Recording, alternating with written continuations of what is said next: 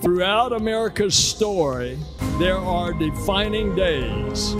Days when minds change, hearts fill, and imaginations soar. And liftoff of Artemis 1. A new generation, the Artemis generation, stands ready. Ready to return humanity to the moon and then to take us further than ever before to Mars. In 2022, NASA successfully launched the Artemis 1 mission, marking a big step for U.S. space. And now Musk and Starship are at center stage in NASA's moon landing hopes. So is SpaceX working on the first Lunar Starship 2023?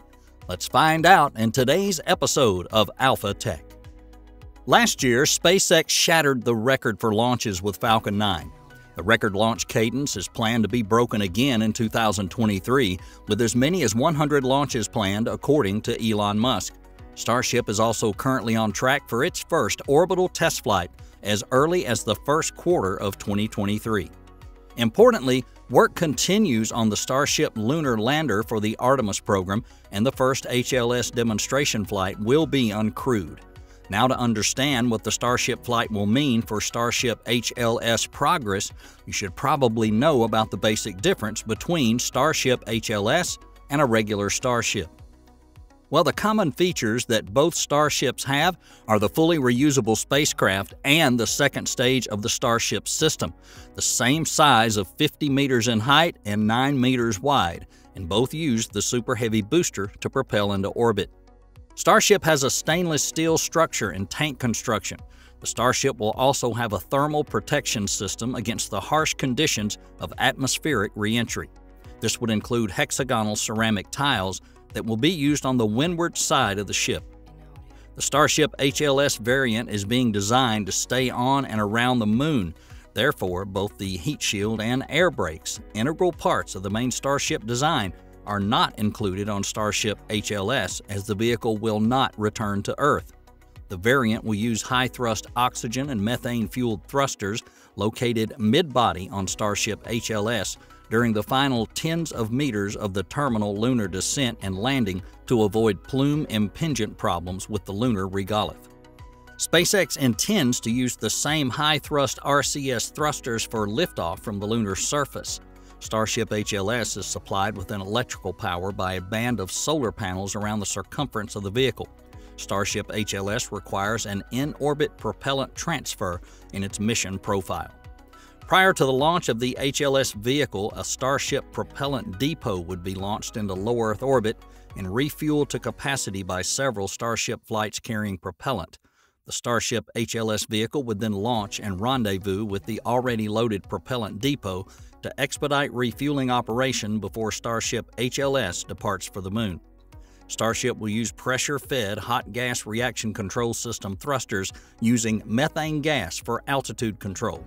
That includes the final pre landing pitch up maneuver from belly flop to tail down and for stability during high wind landings up to 60 kilometers per hour or 37 miles per hour. Initial prototypes have used nitrogen cold gas thrusters, which are substantially less mass efficient but are expedient to support early prototype flight testing.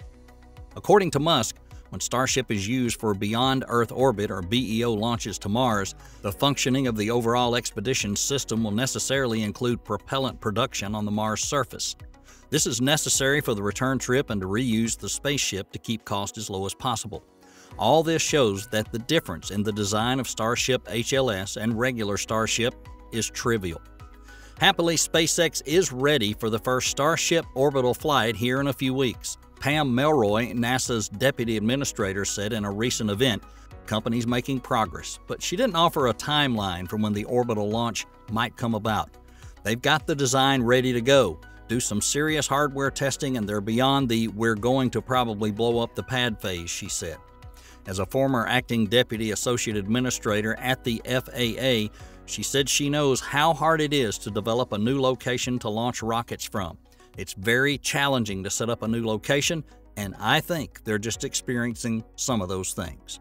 In the interview, Nelson said he is constantly asking for updates on the company's progress, and I am continuously told they're on schedule. They're meeting every milestone, and in some cases, they are exceeding their milestones, he said. And, you know, look at SpaceX's history. They launch and sometimes they blow up, but in the end, they keep going.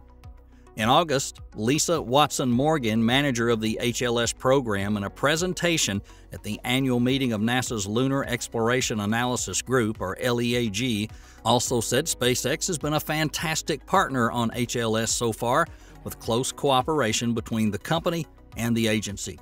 SpaceX has been involved in the Artemis 3 landing site selection process to ensure potential landing regions are compatible with Starship. NASA, in turn, has its personnel, including astronauts, visiting SpaceX facilities for reviews and hardware tests. That includes one of the unique attributes of Starship the elevator required to go from the crew cabin to the surface. It's a very tall lander. It doesn't look like the traditional landers that we've all seen in the past, so it can be hard to reconcile that mentally, Watson Morgan had said. She assured scientists at the meeting that the elevator design was robust, saying it was multi fault tolerant and designed for operating in lunar condition. In his presentation, Kennedy showed images of a full scale mock up of the elevator that SpaceX built for the Crew in the Loop test including ones where astronauts wore simulated spacesuits to test the ability to get in and out of the elevator. Some aspects of the overall Starship lunar landing architecture, though, remains unclear.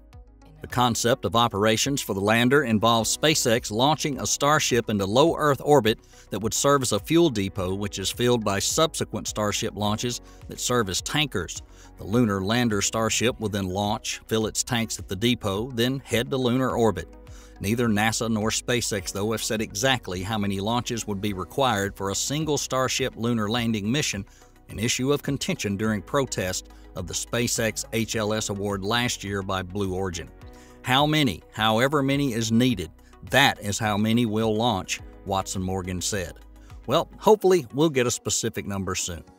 On the other hand, NASA tapped SpaceX to provide a second crew demonstration landing on the moon as part of its Artemis lunar exploration program, a huge win for SpaceX and a possible gesture at improving the relative lack of existing competition for such services.